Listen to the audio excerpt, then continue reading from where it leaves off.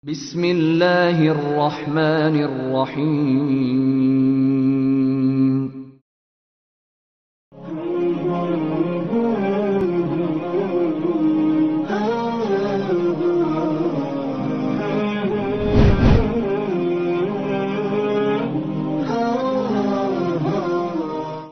السلام عليكم ورحمة الله وبركاته.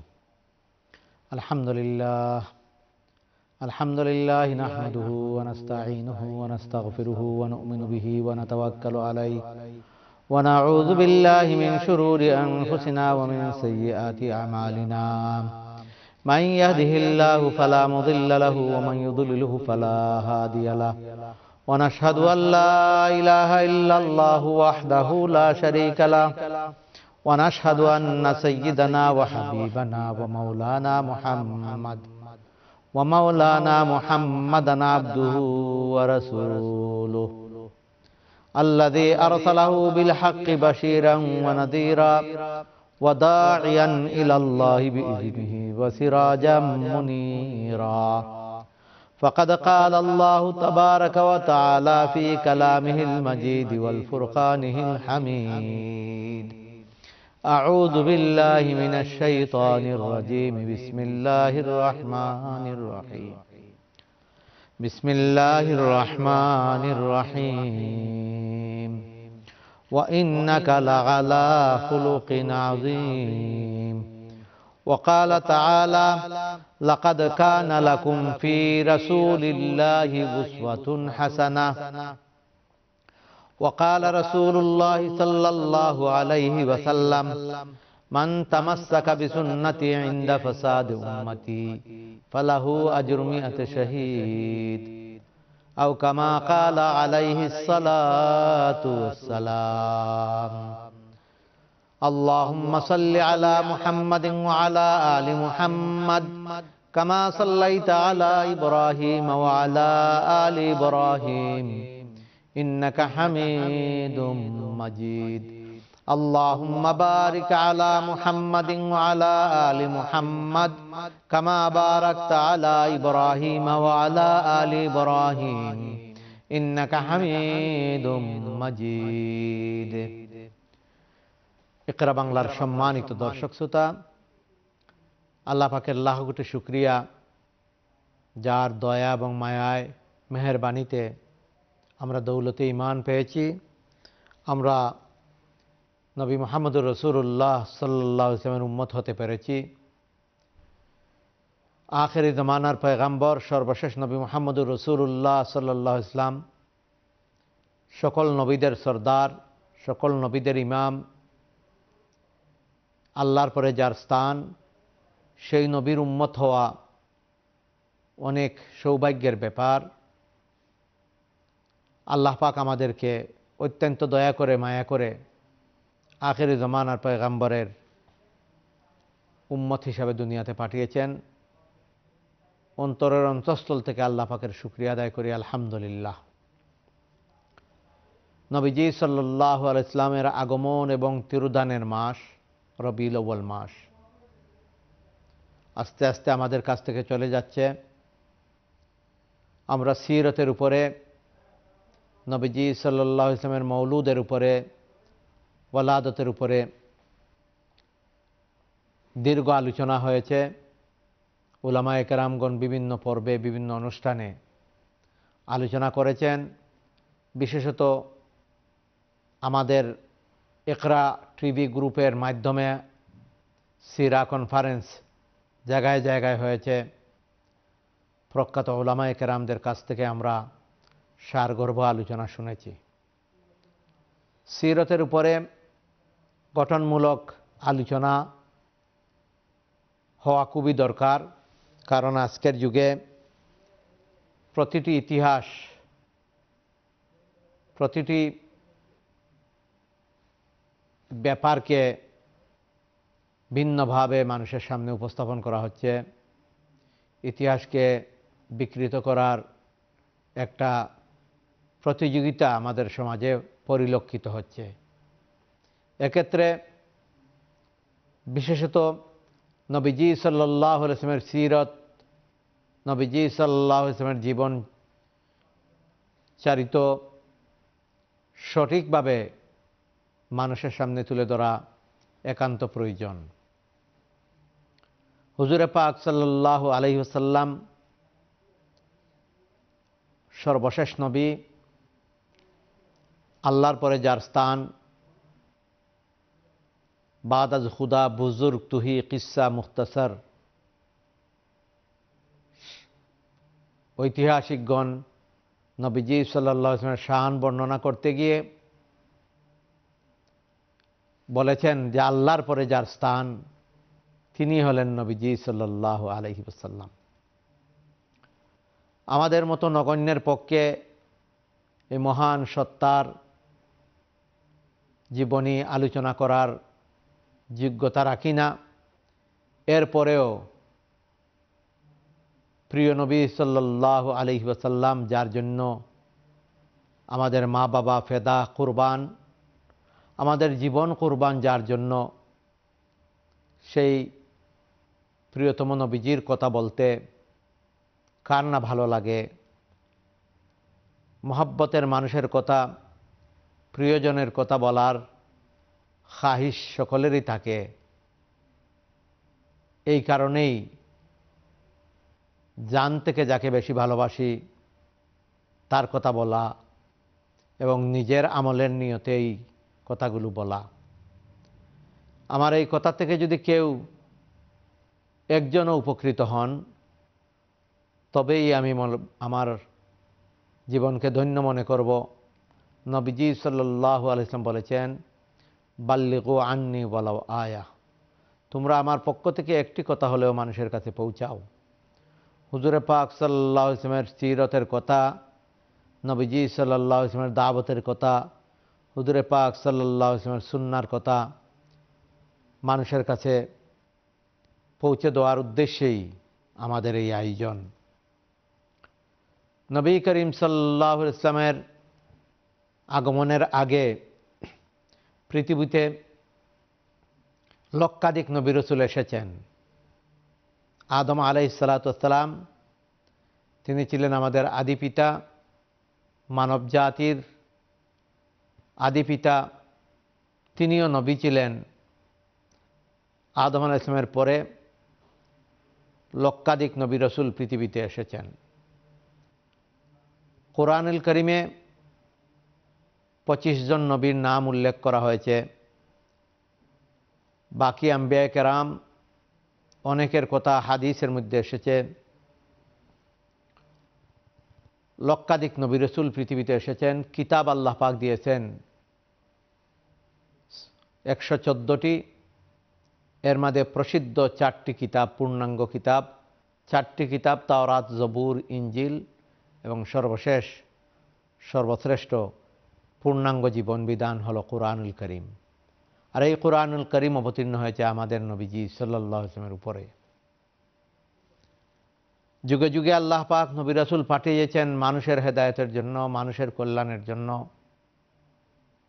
কোনো কোনো সময়ে একসাথে কয়েকজন নবীও পৃথিবীতে এসেছেন। নবীজি সাল্লাহ ইসলামের আগের যে নবী তিনি হলেন হজরতে ঈসা আলহিসাল্লাম যিনি হজরত ঈসা আলহিসাল্লাম সম্পর্কে বলা হয়, মাসালু ঈসা ইন্দাল্লাহ কামাসালি আদম। ঈসা আলাইসাল্লামের মিসাল আদম ইসলামের মতো। আদম আলাইসাল্লামের বাবাও ছিলেন না, মাও ছিলেন না। ঈসা আলাইসাল্লামের বাবা ছিলেন না, মা ছিলেন। পৃথিবীর ইতিহাসে আর কেউ এমন নাই যার বাবা নাই, মা নাই। কিন্তু আদম আলাইসাল্লামের বাবাও ছিলেন না, মাও ছিলেন না। যারা ঈসা আলাইসাল্লামের এই অবস্থা দেখে যে বাবা সারা জন্মগ্রহণ করেছেন, এই কারণে হজরতে মরিয়াম আলাইহাসাল্লাতামের উপরে তুহমত দেন যে তিনি নষ্ট হয়ে গেছেন নাউজবিল্লা তাদেরকে ওই ইতিহাস দেখা দরকার যে আদম আল ইসলামের তো বাবাও ছিলেন না, মাও ছিলেন না।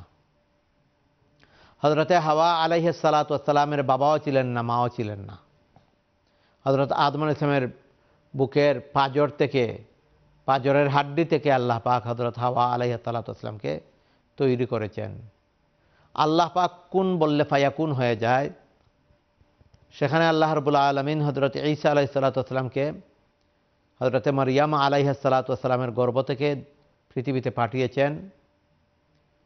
যখন তার কৌম সে যুগের মানুষ হজরতে মারিয়াম আলাইহ সাল্লাতামের উপর এ ধরনের তুহমত দেওয়া শুরু করল, আল্লাহ পাক মারিয়াম আলাইহ সাল্লাতামের কুলে হজরতে ঈসা আলাহ ইসলামের জবানকে কুলে দিলেন শিশু সদ্য প্রসূত সন্তান তার জবান খুলে দিলেন। তিনি বললেন, ইন্নি আবদুল্লাহ আতানি আল কিতাব ওয়াজা আলানি নাবিয়া। আমি আল্লাহর গুলাম, আল্লাহ পাক আমাকে কিতাব দান করেছেন। ওয়াজা আলানি নাবিয়া, আল্লাহ পাক আমাকে নবী বানিয়ে পৃথিবীতে পাঠিয়েছেন সুবাহান আল্লাহ এত বড় মজেজা দেখার পরেও কিছু মানুষ ইমান আনলো কিছু মানুষ ইমান আনল না। হজরত ঈসা আলাই সালাতাম দুনিয়া থেকে আল্লাহ পাক যখন আসমানে উঠিয়ে নিলেন, কিছু মানুষ তার হাওয়ারিজিন তারা এই কথার উপরে বিশ্বাস রাখলেন। আল্লাহ পাক হজরত ঈসা আলাই সালাতামকে আসমানে উঠিয়ে নিয়েছেন। আর যারা আল্লাহকে যথাযথভাবে বিশ্বাস করল না, তারা মনে করল ঈসা ইসলামকে তারা আলহামদুলিল্লাহ হত্যা করে ফেলেছে। নাউজুবিল্লাহ জালিক অথচ আল্লাহ পাক কোরআনুল করিমে ফরমান যে আমি ঈসা আলাহ ইসলামকে আসমানে উঠিয়ে নিয়েছি অমা কাতালুহু অমা সালাবুহু। আল্লাহ পাক ঈসা আলাহ ইসলামকে আসমানে উঠিয়ে নিয়েছেন, তাদের তারা তাকে কাতলও করে নাই, সুলিতেও তারা চড়ায় নাই। আল্লাহ রব্বুল ওলাকিন সুব্বি আলাহম তারা সন্দেহের মধ্যে পতিত হয়েছে, আল্লাহ পাক তাকে আসমানে উঠিয়ে নিয়েছেন। ঈসা আলাহ ইসালাতামকে আসমানে উঠিয়ে নেওয়ার পর পাঁচশো সত্তর বৎসর অতিক্রম হলো। এই সময়টা ছিল বড় নাজুক সময়।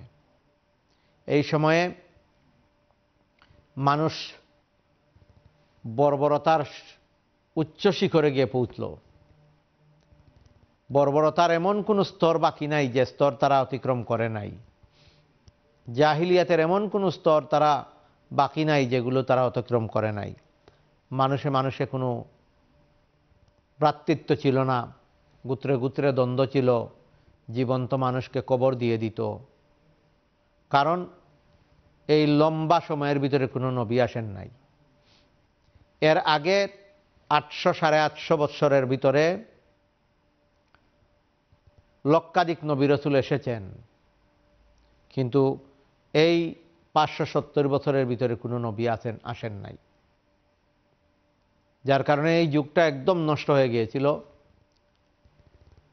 হজরত ঈসা আলাই সাল্লাতামকে আসমানে আল্লাহ পাক উঠিয়ে নিয়েছেন। এখানে একটি মাসআলা ক্লিয়ার হওয়া দরকার। আমাদের আকিদা, মুমিনের আকিদা হলো, ঈসা সাল্লাতাম আবারও আসবেন কেয়ামতের আগে। ইমাম মাহদি আলহ সাল্লাতামের আগমনের পরে ঈসা আলাহ ইসলাম আসবেন দামাস্কাসের জামা মসজিদে। দুইজন ফিরিস্তার কাঁধে ভর করে নামবেন, দাড়ি থেকে, চুল থেকে পানি টপকাবে। তিনি এসে নামাজের ইমামতি করবেন। ইমাম মেহদি আলাইহি সালাতামের সাথে থাকবেন। ইমাম মেহদি আলাইহি সালাতাম ঈসা আলাহ ইসলামের সাথে থেকে দাজ্জালের বিরুদ্ধে সংঘাতে সংগ্রাম করবেন এবং দাজ্জালকে হত্যা করা হবে। এটা হলো আমাদের আকিদা। কেউ কেউ এখানে ধোকায় পড়ে যান। ঈসা আলাহ ইসলাম দুনিয়াতে যে আসবেন, উনি কি নবী হয়ে আসবেন নাকি উম্মত হয়ে আসবেন? স্পষ্ট কথা ঈসা ইসলাম পৃথিবীতে আসবেন, উম্মত হয়ে। কার উম্মত হয়ে আসবেন? বিশ্বনবী মোহাম্মদুর রসুল্লাহ সাল্লাহ আলহি ওসাল্লামের উম্মত হয়ে পৃথিবীতে আসবেন। কত মর্তবান নবী, কত শ্রেষ্ঠ নবী, এটা, এটাই প্রমাণিত হয়, এই ঘটনা দিয়েই প্রমাণিত হয়। ইসলাম বিরোধী কেউ কেউ বলে থাকেন মোহাম্মদ সাল্লাহ ইসলাম শেষে আসবেন। উনি কেমন করে শ্রেষ্ঠ হবেন? এর আগে অনেক বড় বড় আম্বিয়া কেরামগণ চলে গেছেন। ঈসা আলাহি সাল্লাতাম মুসা আলহি সাল্লাতাম ইব্রাহিম আলহি সাল্লাতাম বড় বড় আম্বিয়া কেরামগণ তারা চলে গেছেন। মোহাম্মদ সাল্লাহ ইসলাম শ্রেষ্ঠ হতে পারবেন না। যুক্তির আলোকে যদি আমি বলি যে যিনি প্রদান হন তিনি শেষে আসেন। মনে করেন একটা অনুষ্ঠান, দেশের রাষ্ট্রপতি আসবেন, তার আগমনের কথা, ওই এলাকার এমপি আগ থেকে মানুষকে জানান। এলাকার চেয়ারম্যান, পৌরসভার চেয়ারম্যান, উপজেলা চেয়ারম্যান, মেম্বারদেরকে ডেকে এনে তাদেরকে পাঠানো হয় এলাকায়। একজন একজন করে নিজ নিজ এলাকায় যান, দাওয়াত করতে থাকেন, মানুষদেরকে ঘোষণা করতে থাকেন। আগামী এত তারিখে প্রধানমন্ত্রী আসবেন, প্রেসিডেন্ট আসবেন। তারা দাওয়াতের কাজ করেন, রাস্তাকে সুগম করেন। প্রোগ্রামের আগে প্রোগ্রামের জায়গা চেক করার জন্য জেলার ডিসি যান, সেখানে গিয়ে নিরাপত্তার ব্যাপারটা লক্ষ্য করেন। আবার যখন প্রোগ্রাম হয়, প্রধানমন্ত্রী বক্তব্য দিয়ে যাওয়ার পর আবার ডিসি আসেন, এসে দেখেন যে প্রধানমন্ত্রীর মেসেজগুলো যথাযথভাবে কার্যকর হচ্ছে কিনা। এসপি আসেন, মিনিস্টার আসেন, এমপি আসেন, এসে সেই কথাগুলো বাস্তবায়ন হচ্ছে কিনা দেখেন।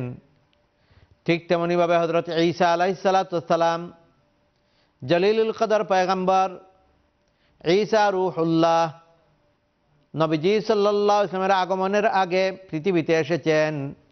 আল্লাহ পাক সশরীরে আবারও আসমানে উঠিয়ে নিয়েছেন। নবীজি সাল্লাহ ইসলামের আগমনের পরে আবারও পৃথিবীতে আসবেন। এসে দেখবেন বিশ্বনবী সাল্লাহ আলহিহাসাল্লামের যে বার্তা, সর্বশেষ যে বার্তা, সেগুলো যথাযথভাবে মানুষের কাছে পৌঁছেছে কিনা।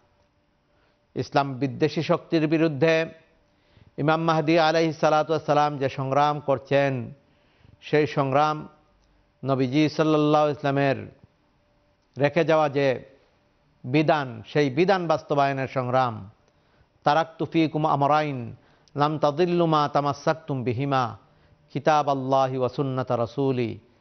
নবীজি সাল্লাহ ইসলাম বিদায় হজের ভাষণে বলেছিলেন আমি তোমাদের জন্য দুটি জিনিস রেখে যাচ্ছি। যদি তোমরা এই দুইটি জিনিসকে আঁকড়ে ধরো, তাহলে তোমরা কখনো পথভ্রষ্ট হবে না, গুমরা হবে না, তোমরা কখনো বিপদে পড়বে না।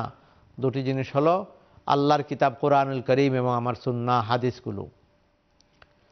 ইমাম মেহদি আলাই সালাতাম এই কোরআন সুন্না বাস্তবায়নের জন্য এই ফিতনার যুগে আসবেন। এবং সর্বশেষ ফিনিশিং দেওয়ার জন্য হজরত ঈসা আলাইসাল্লাতামের আগমন ঘটবে। তিনি এই পৃথিবীতে আবারও রাজত্ব করবেন।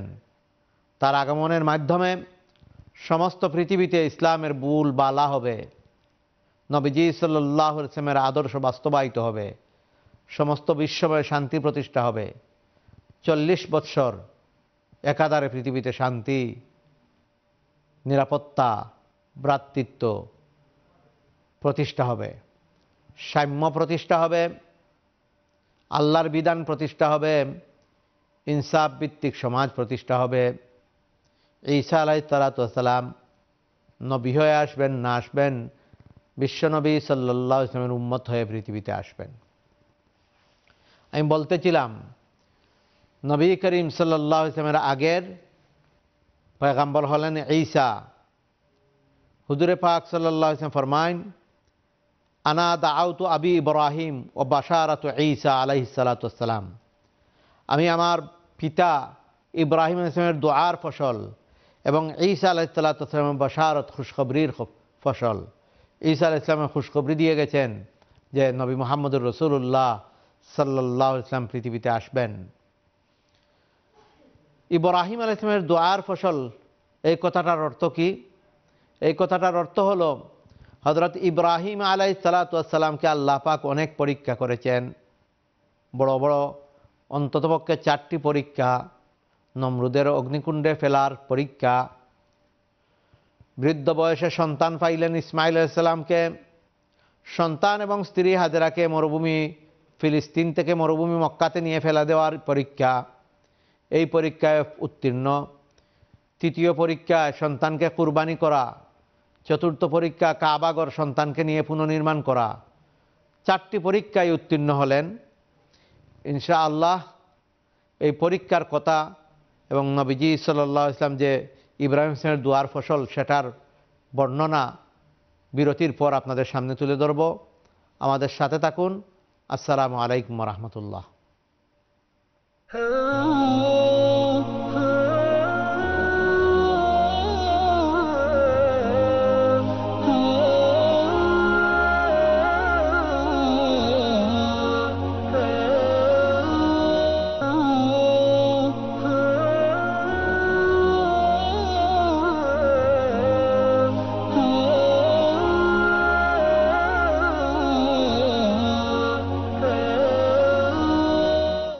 আসসালামু আলাইকুম রহমতুল্লাহ বরকাত দর্শক শ্রোতা, বিরতির পর আবারও আপনাদের সামনে নুরুল কোরআনে উপস্থিত হলাম।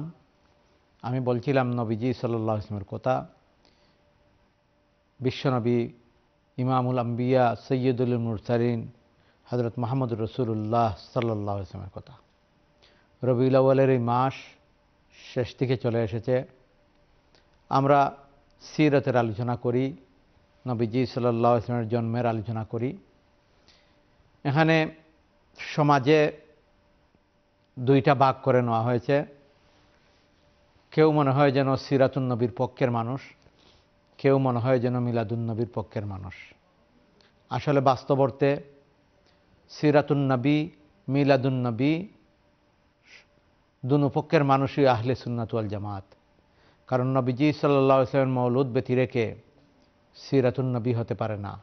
আর সিরাতুন নবীর ভিতরে নবীজি সাল্লাহ ইসলামের মিলাদ রয়েছে।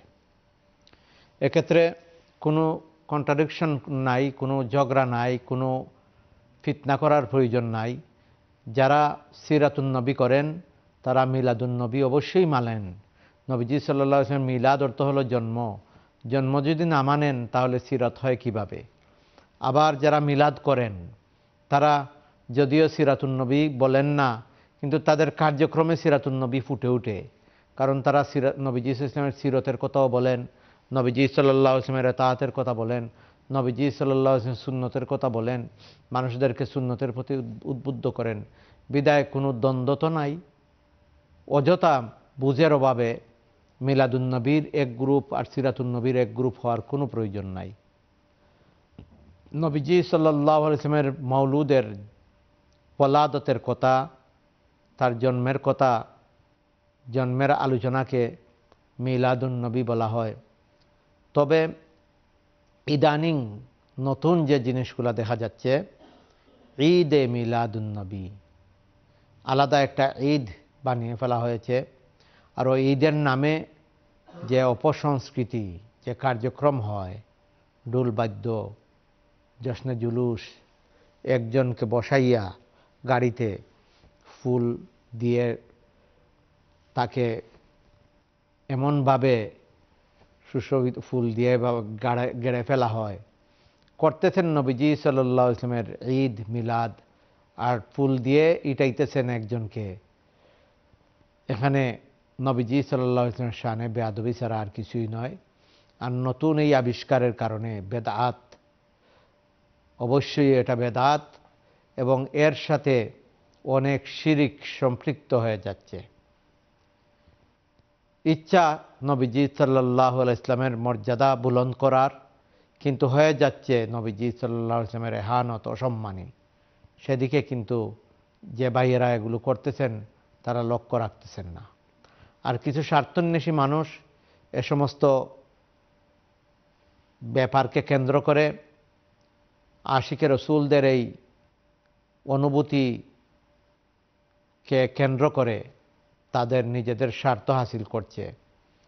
উন্নত দেশগুলোতে বিভিন্ন ধর্মাবলম্বীর তাদের বিশেষ বিশেষ দিনগুলোর জন্য, বিশেষ বিশেষ আয়োজনের জন্য চ্যারিটি কমিশন থেকে বিভিন্ন গ্রান্টের ব্যবস্থা করা হয়েছে। যেভাবে আমাদের দেশের বিভিন্ন দিবসের বৈশাখের জন্য, আরও বিভিন্ন দিবসের জন্য বিভিন্ন চ্যারিটিগুলো উন্নত দেশের বিভিন্ন সংস্থা থেকে গ্রান্ট নিয়ে অনুষ্ঠানাদি করে থাকে। আজকাল ঈদে মিলাদুন নবীর নামে বিভিন্ন প্রোগ্রাম সাজিয়ে এ ধরনের অর্থকরী কামাই করারও একটা ফন্দি চলতেছে। যদিও তাদের অর্থকরী কামাই করা, কিন্তু এর মাধ্যমে মুসলমানদের কাছে ও মুসলমানদের কাছে খারাপ মেসেজ যাচ্ছে।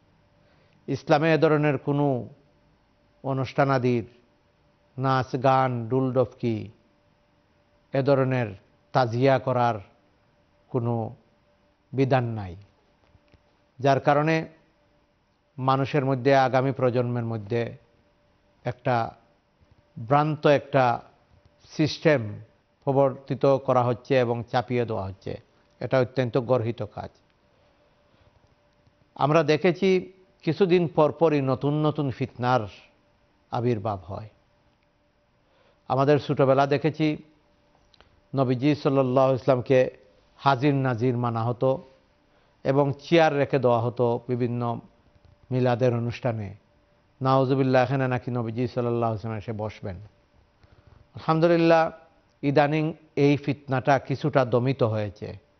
নতুন ফিতনা মাথাচারা দিয়ে উঠেছে যে ঈদে মিলাদুন নবীর নামে এমনভাবে ডুলডফকি বাজিয়ে মিছিল বের করা হয় আর বিভিন্ন ব্যক্তিকে নবীজি সাল্লাহ সুন্না মোতাবিক সাজিয়ে, পাগড়ি, জুব্বা দিয়ে সাজিয়ে, খোলা ট্রাকের মধ্যে তাকে একটা দেবতার মতো বসিয়ে রেখে ফুল দিয়ে তাকে বরণ করে নিয়ে এই যে একটা নতুন ফিতনা, নতুন বেদাত শুরু হয়েছে সেগুলোর থেকে আমাদের বেঁচে থাকা দরকার এবং আজকের দিনে এই মেসেজটা বেশি করে মানুষের কাছে পৌঁছানো দরকার।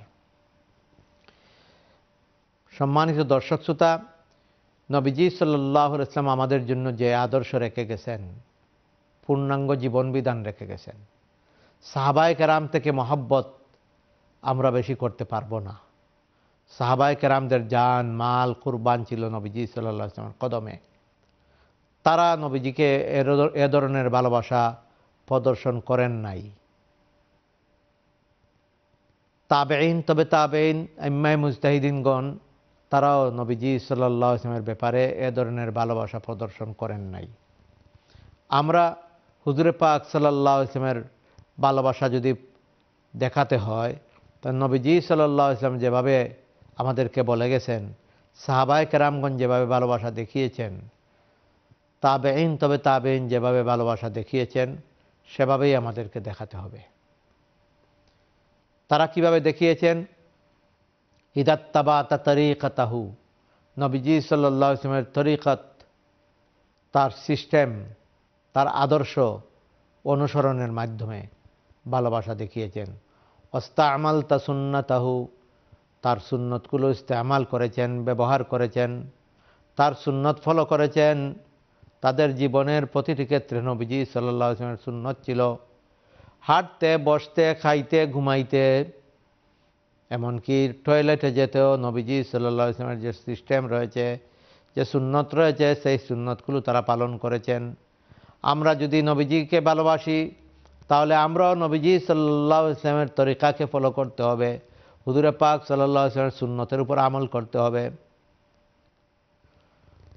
واستعملت سنته وواليت بولايته وعاديت بعداوته নবীজি সাল্লাহ ইসলাম যেগুলো ভালোবেসেছেন যেগুলো পছন্দ করতেন এবাদত পছন্দ করতেন সেগুলোকে পছন্দ করতেন করতে হবে আর নবীজি সাল্লাহ ইসলাম যেগুলো অপছন্দ করতেন গান বাদ্য অশ্লীলতা মানুষের সাথে খারাপ ব্যবহার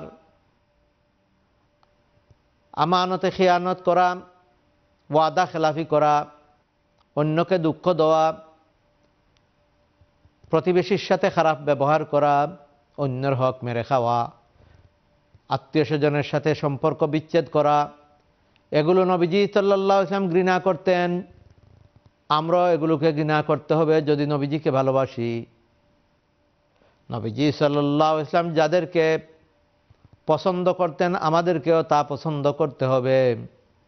নবীজি সাল্লাহ ইসলাম সাহাবাই কেরামদেরকে পছন্দ করতেন, নেক বান্দাদেরকে পছন্দ করতেন।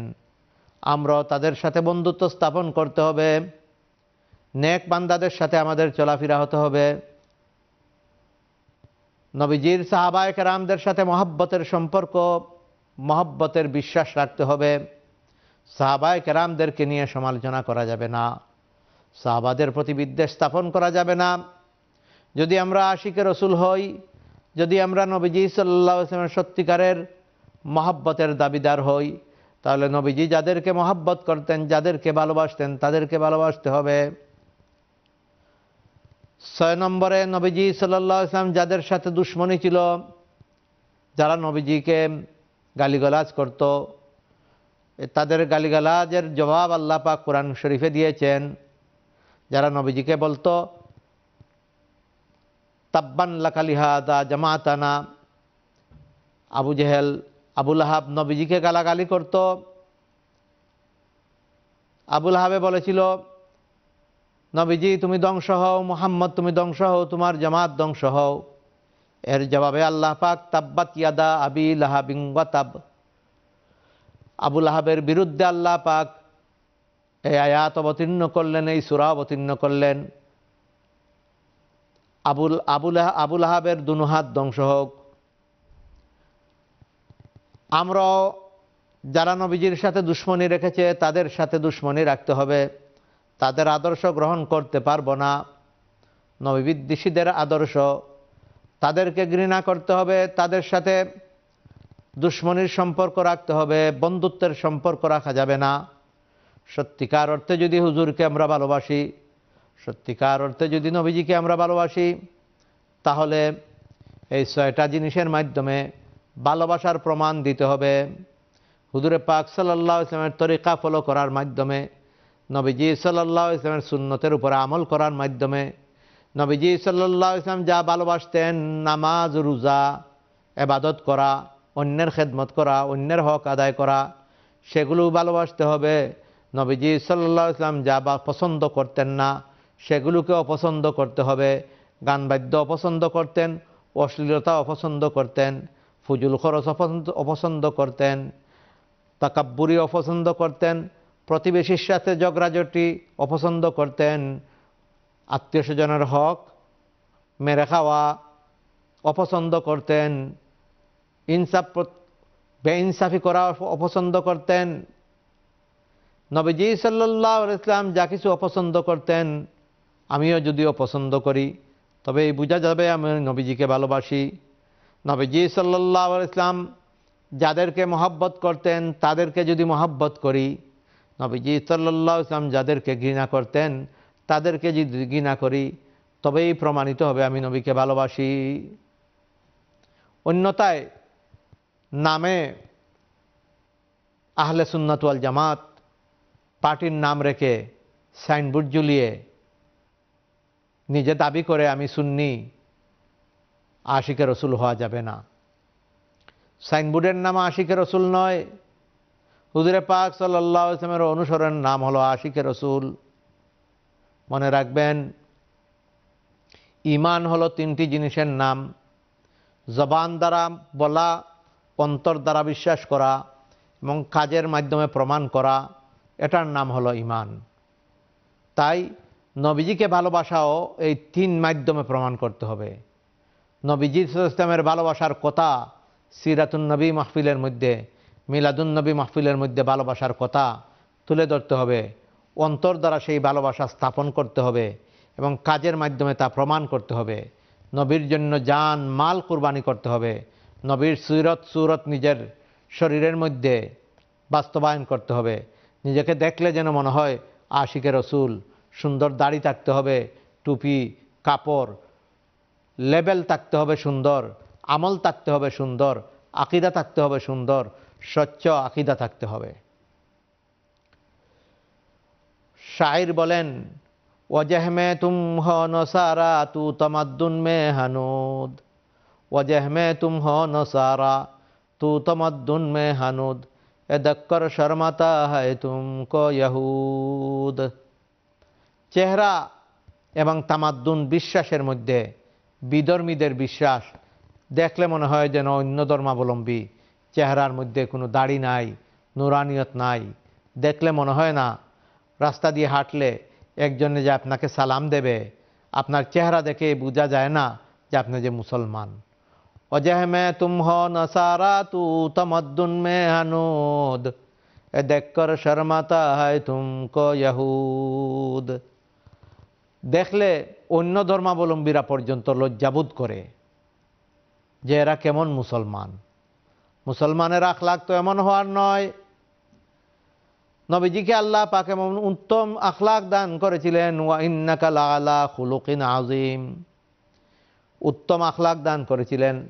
লাকাদ কানা ফি রাসূলিল্লাহি উসওয়াতুন হাসানা। নবীজি সাল্লাহ ইসলামের আখলাক দেখে মানুষ মুসলমান হয়েছিল। সাহাবাই কেরামদের চরিত্র দেখে মানুষ মুসলমান হয়েছিল। হুজুরে পাক সাল্লাহ জীবদ্দশায় যে সমস্ত যুদ্ধ বিগ্রহ হয়েছে, সেগুলোর মাধ্যমে মুসলমান হয় নাই। কারণ দেখা গেছে, মুসলমান ও মুসলমান নির্বিশেষে মুসলমান এবং কাফিররা মিলিয়ে তেইশ বছরের ভিতরে এক হাজার মানুষেরও প্রাণহানি ঘটে নাই। অথচ ইসলাম বিশাল এরিয়া জুড়ে ইসলামের বিস্তৃতি ঘটে গিয়েছিল। আর আজকের যুগে প্রথম বিশ্বযুদ্ধেতে আশি লক্ষ মানুষের প্রাণহানি ঘটেছে। দ্বিতীয় বিশ্বযুদ্ধতে এক কোটি বিশ লক্ষ মানুষের প্রাণহানি ঘটেছে। বাংলাদেশ স্বাধীনতায় ত্রিশ লক্ষ মানুষের প্রাণহানি ঘটেছে। আজকের যুদ্ধ বিগ্রহ একটা আদর্শ প্রতিষ্ঠা করার জন্য, একটা স্বাধীনতা আনার জন্য এত মানুষের প্রাণহানি ঘটে। অথচ ইসলামের এই সুমহান নীতি, এই আদর্শ পৃথিবীতে প্রতিষ্ঠা হলো। হুদুরে পাক সাল্লাহ ইসলামের জীবদ্দশায় এক হাজার মানুষেরও প্রাণহানি ঘটল না। এতে করে বোঝা গেল, হত্যা রাহাজানির মাধ্যমে নয় যুদ্ধ বিগ্রহের মাধ্যমে নয় আদর্শ প্রতিষ্ঠা করেছিলেন হুদুরে পাক সাল্লাহ ইসলামের আখলাখের মাধ্যমে।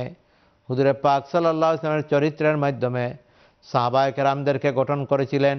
সোনালি একটা একটা জাতি যারা ছিলেন আগে বর্বরতার মধ্যে নিমজ্জিত। কোরআন আসার কারণে, নবীজির সহবতে আসার কারণে আরবের জমিন সিমিলারির থাকল, পাহাড়িয়া জমিন, মানুষ ও সেম মানুষ থাকলেন কিন্তু সেই আদর্শকে গ্রহণ করার কারণে সুনানি মানুষে তারা রূপান্তরিত হয়ে গেলেন। আসহাবি কান্নুজুম বিআইহিম ইখতাদাইতুম ইহতাদাইতুম। নবীজি আলাইহি ইসলাম ফরমান, আমার সাহাবায়ে কেরামগণ আসমানের তারকার মতো, যারা তাদেরকে ফলো করবে, তারা হেদায়েত পেয়ে যাবে। সুবাহান আল্লাহ সুবাহান আল্লাহ বোঝা গেল আদর্শের মাধ্যমে, আখলাকের মাধ্যমে ইসলাম পৃথিবীতে বিস্তৃতি লাভ করেছে। আজকে যদি আমরা সেই আখলাক আমাদের মধ্যে নিয়ে আসতে পারি, দেখবেন আমাদের আখলাক দেখে, আমাদের চরিত্র দেখে, আমাদের সিরত, সুরত দেখে অন্যরাও প্রভাবিত হবে এবং তারাও ইসলাম গ্রহণ করবে, ইসলামের সুমহান নীতি দেখে। দেখুন, মা বোনেরা বোরকা পরেন।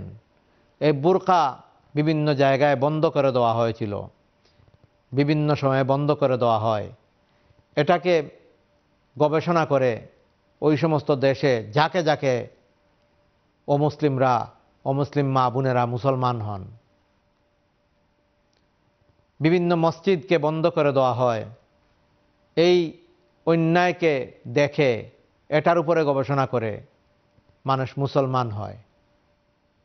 অন্যায় কাজের মাধ্যমে কোনো আদর্শকে বন্ধ করে দেওয়া যায় না। সত্যিকারের আদর্শ, আখলাখ মানুষের সামনে উপস্থাপন করার মাধ্যমেই সেই আদর্শ মানুষের মধ্যে প্রভাব বিস্তার করে এবং তা মানুষ গ্রহণ করে। ইসলামের সুমহান নীতি আবারও যদি আমরা মানুষের মাঝে তুলে ধরতে পারি, নবীজি সাল্লাহ ইসলামের আখলাখ, চরিত্র, জীবন বিধা, জীবন, জীবনী, সিরত মানুষের কাছে যদি তুলে ধরতে পারি তবেই আবারও পৃথিবীতে শান্তি প্রতিষ্ঠা হবে। আপোসের মধ্যে দ্বন্দ্ব করার কোনো দরকার নেই। এই দ্বন্দ্বর মাধ্যমেই আপোসের মধ্যে ঝগড়া জাতির কারণেই রহমত দূর হয়ে যায় এবং যে সিরতের আলোচনা নবীজি ইসলামের জীবনী আলোচনার মাধ্যমে যে ফায়দা হওয়ার কথা তা হয় না। এমন এক সময় ছিল যে আমাদেরকে দেখলে অন্য গ্রুপের লোকেরা হিংসা করত, অন্য গ্রুপের লোকদেরকে দেখলে আমাদের গ্রুপের লোকেরা হিংসা করতেন। এটার কারণে যে কত ক্ষতি হতো, আলহামদুলিল্লাহ আস্তে আস্তে এখন সেগুলো কমে আসতেছে। আরও মেহনত করার দরকার। সিরাতের কিতাবাদি, হাদিস, হাদিসসমূহ যদি বেশি করে অধ্যয়ন করা হয় তাহলে সেই ভুলগুলো মানুষের বাংবে আজকাল সেগুলো বেশি করে মাদ্রাসা এবং খানকাগুলোতে পড়ানো হয় এবং ভালো ভালো আলিম তৈরি হচ্ছেন বিদায়। আস্তে আস্তে সেগুলো কমে আসতেছে। আবার অন্যদিকে ইন্টারনেটের জরিয়ায় আরও বিভিন্ন ফিতনা আমাদের সামনে উপস্থাপন করা হচ্ছে, যার কারণে দিনের মধ্যে এই ফরাত এবং তফরিত ঢুকে যাচ্ছে। অন্য ফিতনা অন্য সমস্যা আমাদের কাছে প্রকট হয়ে দাঁড়াচ্ছে। যেমন মজহব মানলে সে কাফির হয়ে যাবে নাউজবিল্লা অথচ যে ব্যক্তি বলতেছেন, তার বাবা ছিলেন মজহাবি আলিম। যে ব্যক্তি বলতেছেন, তার বাবা মায়ের বিবাহ হয়েছে মজহাবি মাধ্যমে। তারা নামাজ পড়েছেন, রোজা রেখেছেন মজহবের মাধ্যমে। তার ফতোয়া অনুযায়ী তার মা বাবার বিবাহ ঠিক, বেঠিক হয়ে যায়। এভাবে হিংসাত্মক কথাবার্তা ডিভাইড করার কথাবার্তা, মানুষকে দিন থেকে দূরে নিয়ে যাওয়ার কথাবার্তা থেকে আমাদেরকে ফিরে আসতে হবে। আজকাল ঐক্যের খুবই প্রয়োজন। মুমিনগণ, মুসলমানগণ আলিমুলামাগণ মুসল্লিয়ানে কেরামগণ, ঐক্যবদ্ধ হওয়া খুবই দরকার। হিংসা বিদ্বেষ পরিহার করতে হবে। হিংসার কারণে এবাদত সব নষ্ট হয়ে যায়। মনে রাখবেন প্রত্যেককেই তার কথার জন্য, তার কাজের জন্য আল্লাহ পাকের কাছে জবাব দিতে হবে। নবীজি সাল্লাহ হাদিস, কুল্লুকুম রাইং কুল্লুকুম মাসউলুনান রাইয়াতিহি আল ইমামুরা আইন আলা মুলকিহি আর রাজুলুরা আইন আলা নফসিহি আল মার আতুরা আইয়াতুন আলা বাইতে দাউজিহা প্রত্যেককে তার নিজের দায়িত্বের উপরে জবাব দিতে হবে। আপনি যদি একজন আলিম হন আপনার কথায় কোন ফিতনা তৈরি হচ্ছে, মানুষ হেদায়ত পাচ্ছে কিনা, সেদিকে লক্ষ্য রাখতে হবে। আপনি যদি মানুষের মধ্যে তাফরিকা তৈরি করেন, হয়তো আপনার কথার কারণে কেউ হেদায়ত পেয়ে যাবে, কিন্তু আপনি গুমরা হয়ে যাবেন। হয়তো আপনাকে অনুসরণ করার কারণে কেউ জান্নাতি হয়ে যাবে, কিন্তু আপনি ফিতনা তৈরি করার কারণে আপনি জাহান্নামি হয়ে যাবেন। খেয়াল রাখতে হবে। ওয়াজ করা তো সোজা নয়। شاعر বলেছেন جس دور پر نہ جاتی تھی ہم او زمانہ بھول گئے اوروں کو جگانا یاد رہا خود ہوش میں آنا بھول گئے منہ دیکھ لیا آئینے میں اور داغ نہ دیکھا سینے میں دل ایسا لگایا جینے میں مرنے کو مسلمان بھول گئے جے جگر پتی ہمرا فخر کرتام صحابہ کرم در جوگ নবীজি সাল্লাহ ইসলামের যুগ তাবেইন তবে তাবেইন আম্মায় মুস্তাহিদিনদের যুগ। এই যুগের কথা আমরা বলি এবং ফখর করি। এই যুগ আমরা ভুল গেছি। তারা কীভাবে চলেছেন সেই চলা আমরা ভুলে গেছি। আরৌক জাগা না ইয়াদ রাহা। অন্যদেরকে সচেতন করা আমাদের মনে রয়েছে। আমরা অন্যদেরকে নসিহত করতে খুব পারঙ্গম খুদ হুশ মে আনা ভুল গায়ে। নিজে তো আমরা সংশোধন হই না, নিজে হুশ হই না। মোহ দেখ লিয়া আয়নে মে, ওর দাগ না দেখা সিনে মে। আয়নার মধ্যে চেহারা দেখেছি, কিন্তু অন্তরের ভিতরে যে আমাদের দাগ রয়েছে, সেই দাগ তো দেখি না, সেই দাগ পরিষ্কার করি না। দিলে এসা লাগায়া জিনে মে মরনে কো মুসলমা বুল গায়ে। বাসার জন্য এমনভাবে দিল লাগিয়েছি আমরা, মরার কথা ভুলে গেছি। আমরা যেন মনে হয় পৃথিবীতে সারা জীবন থাকব, এমনভাবে চলাফেরা করি। সিরাতের আলোচনার মাধ্যমে যদি আমরা এমন আমাদের জীবনকে গঠন করতে পারি, আমাদের জীবনকে নবীজি সাল্লাহ ইসলামের চরিত্র, আখলাক দিয়ে আমরা সাজাতে পারি, তবেই এই আলোচনা সার্থক হবে। আমি আল্লাহ পাকের কাছে সাহায্য কামনা করি। আল্লাহ যেন আমাকে নবীজি সাল্লাহ ইসলামের তরিকা অনুযায়ী চলার তৌফিক দান করেন। সিরতে সুরতে যেন আল্লাহ পাক আমাকে হুজুরে পাক সাল্লাহ ইসলামের আখলাকের অধিকারী করেন এবং আমার সকল দর্শক শ্রোতাকেও যেন নবীজি সাল্লাহ ইসলামের সিরত অনুযায়ী চলার তৌফিক এনায়ত করেন। আমরা সবাই বলি আমিন। আমার আলোচনায় যে সমস্ত ভুল ত্রুটি হয়েছে, আল্লাহ পাক আমাকে ক্ষমা করে দিন।